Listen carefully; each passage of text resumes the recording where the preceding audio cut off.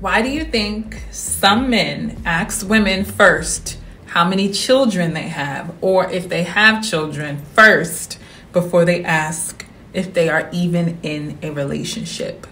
Personally, I would be interested in knowing whether or not someone has kids before I pursue a relationship with them. I don't know how many men do this, but I would assume they're asking because of the financial implications.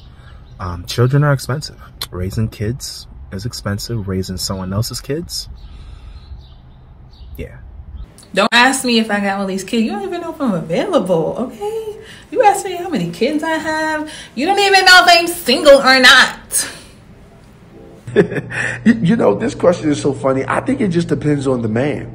I think it depends on the man. I think it depends on where the man is, what he's trying to gain out of it, um, and where he's trying to go. So if I'm a man and I don't necessarily want to deal with children, I may ask first how many children you have, uh, because maybe I don't want to deal with that aspect of who you are, that component of who you are. And so my first question and my uh, uh, concern might be how many children you have. Larger investment a lot of the time. Um, so if I'm going to get involved with someone with kids, sometimes there might be an implication of a higher level of commitment. And if that's not what I'm interested in at the moment, then that's just something that I'm not interested in pursuing. Real man will understand that a responsibility uh, has to come first. So I think a man will ask that because now you're you are you are measuring the amount of um, time that that person can allocate to whatever you're trying to build. A real man understands that children always comes first. A woman cannot choose you over their offspring. So I think men will ask that so they can gauge the level of seriousness or the amount of time that they're going to put in that relationship. Or some men ask women how many kids do you have before they ask, are you in a relationship? Because relationships are temporary. You have one or two or three. You know what I mean? The first thing a man's going to think about is, okay, well, where do I fall? And it may seem or sound a little selfish when I say it, but men are going to be like, okay, where do I fall on the priority scale? How many kids you got already determines, well, potentially how many baby fathers you got. Is it one guy with two kids? Is it one guy for your one kid? Is it, you know what I mean? Do you got men that help out for your one kid?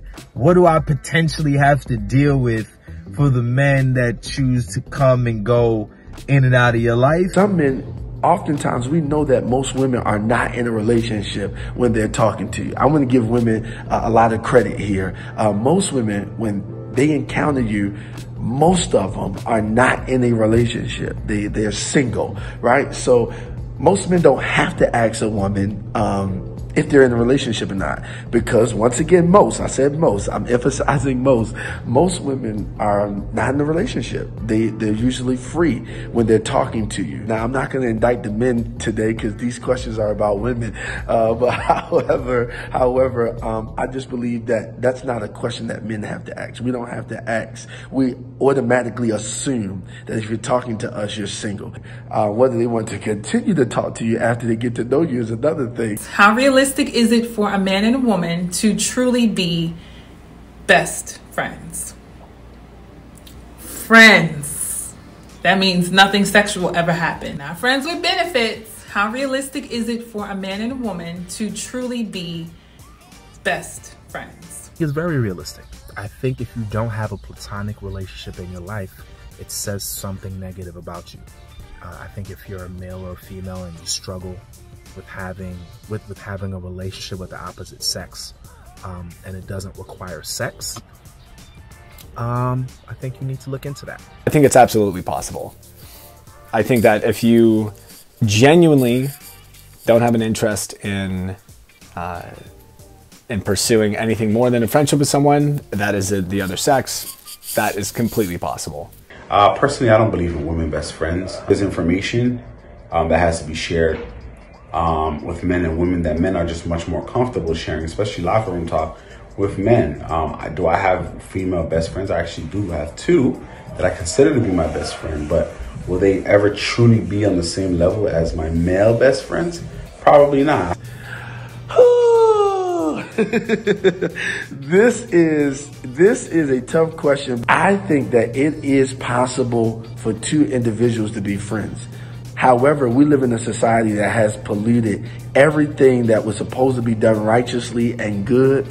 We polluted it. We've made it bad. I'm just going to be honest. It's just my opinion.